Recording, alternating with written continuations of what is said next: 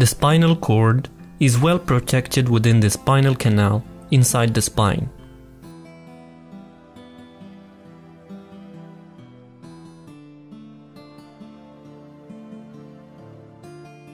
In adults, it measures approximately 42 centimeters for women and 45 centimeters for men, and it is at the origin of all the 31 pairs of spinal nerves.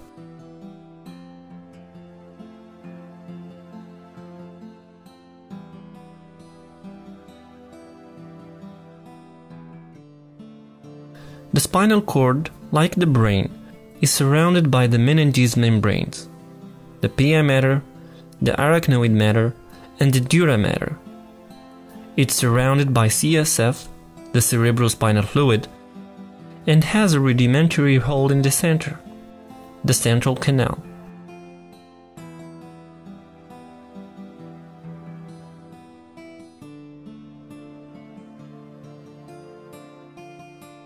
Because of the intrauterine faster growth of the spine, the nerve roots of the spinal nerves are offset relative to the intervertebral foramina they emerge from.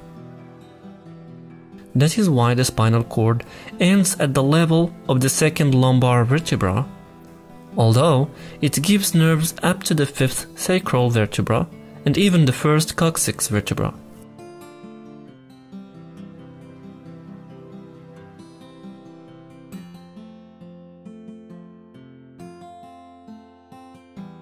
The lumbar puncture for collecting CSF is usually done below the second lumbar vertebra. This prevents any injury to the spinal cord.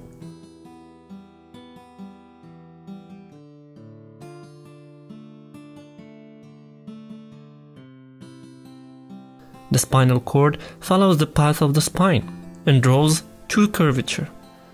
A cervical with a posterior concavity, lordosis, and the dorsal lumbar with anterior concavity, kyphosis.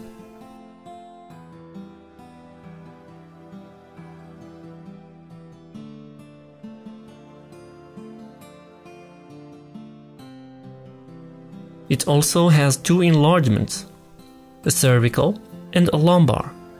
This is due to the innervation of the upper and lower limbs.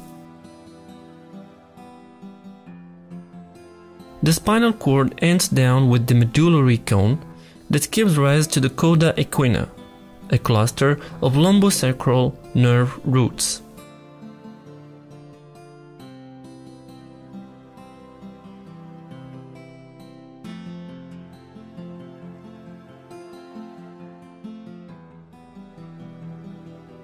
On a cross section, the spinal cord has a central region the gray matter which contains the neuron's cell bodies, and the peripheral part, the white matter that consists of the axonal extensions and their myelin sheath.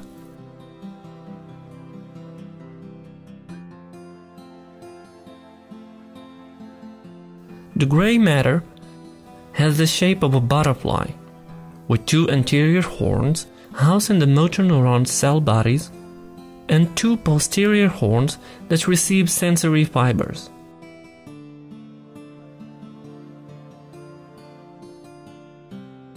At the thoracolumbar level, there are also lateral horns. These hold the sympathetic fibrous cell bodies.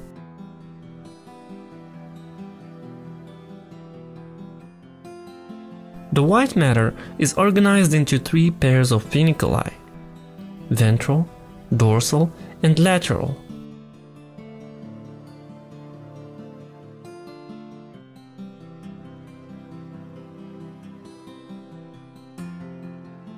The spinal cord is marked by some grooves on its surface. The deepest is the anterior median fissure, the groove in the ventral side. The posterior median sulcus is the groove in the dorsal side. The spinal cord has also two lateral grooves on each side, from which will emerge two pairs of nerve roots.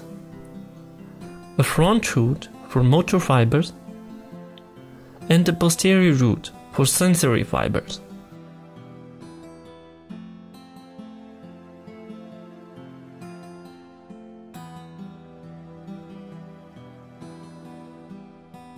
These two nerve roots unite to form a spinal nerve on each side.